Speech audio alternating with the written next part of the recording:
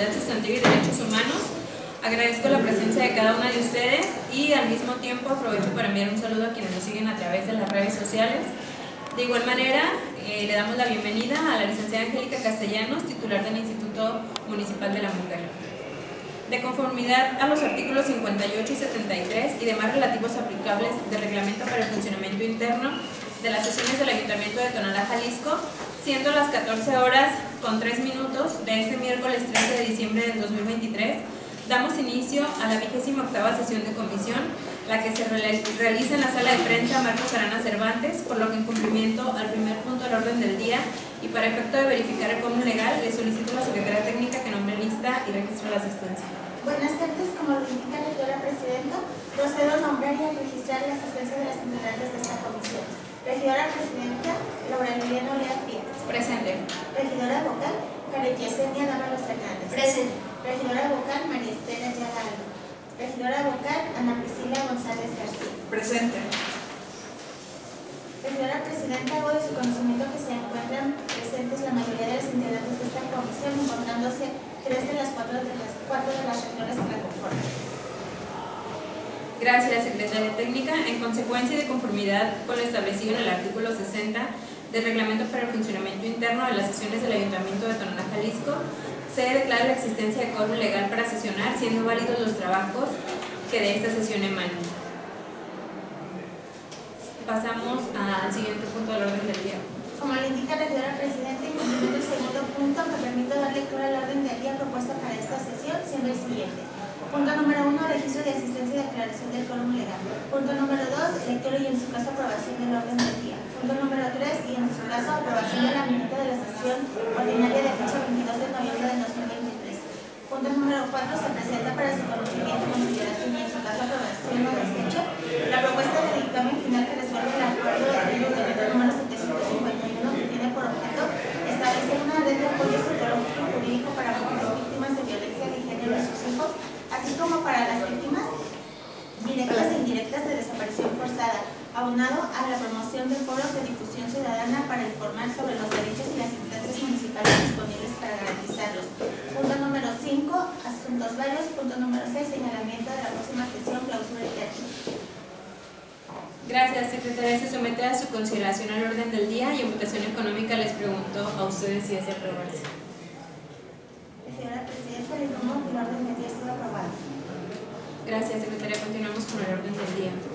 Como le indica la señora Presidenta, pasamos al tercer punto, haciendo lectura y en su caso aprobación de la minuta de la sesión ordinaria de fecha 22 de noviembre de 2023. Se somete a su consideración el que se omita la lectura de la minuta de la sesión ordinaria de fecha 22 de noviembre del presente año, en razón de que se les hizo llegar a sus correos electrónicos para su revisión y observaciones, por lo que pongo a su consideración el que se apruebe su contenido y en votación económica les pregunto si es de aprobarse, favor de manifestarlo levantando su mano.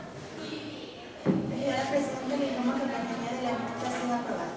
Gracias, secretaria. Continuamos con el orden del día. Como lo indica, en el cuarto punto se presenta para su conocimiento y consideración y en su caso aprobación o desecho la propuesta de dictamen final que resuelve el acuerdo de ayuntamientos número 751 que tiene por objeto establecer una red de apoyo psicológico y jurídico para mujeres víctimas de violencia de género y sus hijos, así como para las víctimas directas e indirectas de desaparición forzada, aunado a la promoción de foros de difusión ciudadana para informar sobre los derechos y las instancias municipales para garantizarlos.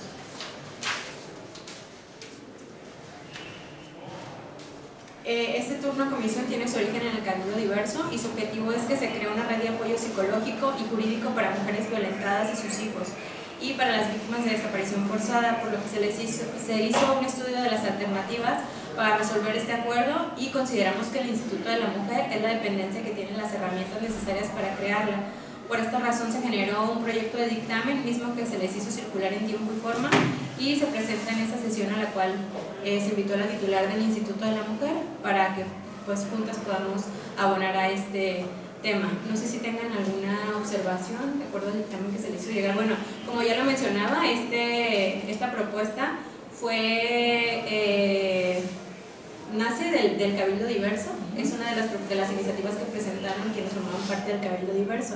Y bueno, si recuerdan, fueron turnadas a, a las comisiones y eh, pues le estamos dando seguimiento al trabajo que se hizo desde el Cabildo Diverso estamos dando cumplimiento y la idea pues es generar una red de apoyo eh, tanto psicológico como jurídico a eh, hijos de mujeres violentadas y también de personas desaparecidas o de, pues sí, personas desaparecidas.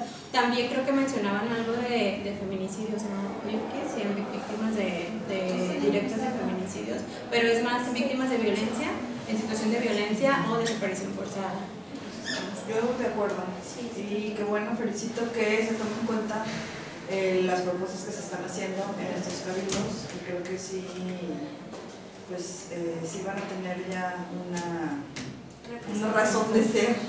Sí, que, que bueno, el, la atención ya se les da por parte del, por del instituto, pero ahorita la intención es ya crear una red bien establecida tanto de psicólogos como de abogados y abogadas y que el trabajo pues sea eh, Angie, quien es la directora del Instituto de la Mujer, que ella encabece los trabajos y que aparte ella busque las instancias que están dentro de, de las instancias que sean, que sean institucionales para que ella pueda articular los trabajos y hacer crecer la red, o sea que no únicamente sea personal del instituto, sino que también pueda ser del DIF, de la UABI, de servicios médicos o de alguna otra institución que también den atención a, a, personas en situación de violencia.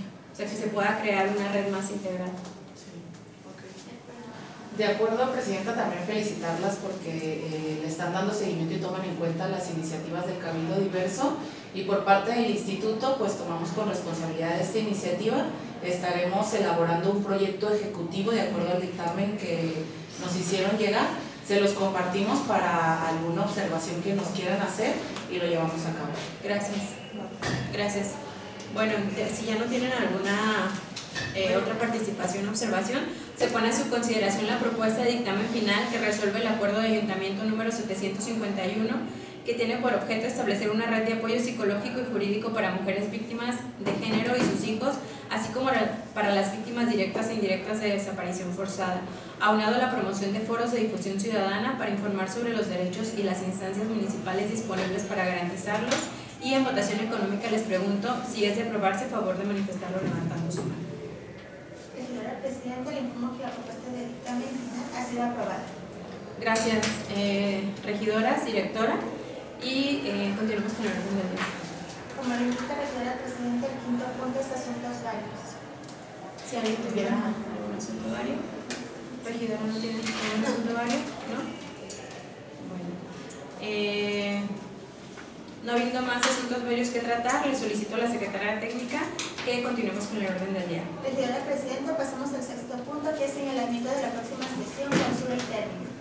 Respecto a este punto, queda abierta la fecha para la próxima sesión, para la cual se les estará convocando en tiempo y forma, agradeciendo su asistencia y participación, siendo las 14 horas con 11 minutos de este miércoles 13 de diciembre del 2023, se da por clausurada la presente sesión ordinaria de la Comisión de Edilicia de Igualdad Sustantiva y Derechos Humanos. Pues felices fiestas a todas. Gracias.